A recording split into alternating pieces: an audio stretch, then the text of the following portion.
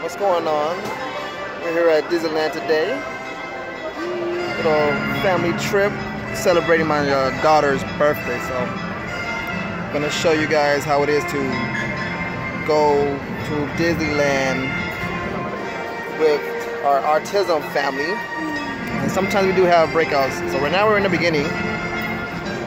We we have not came in yet, but we'll see. Say hi, Brian. Say hi, Brian. Hi. Say hi, Brian. We're gonna have fun today. No tantrums.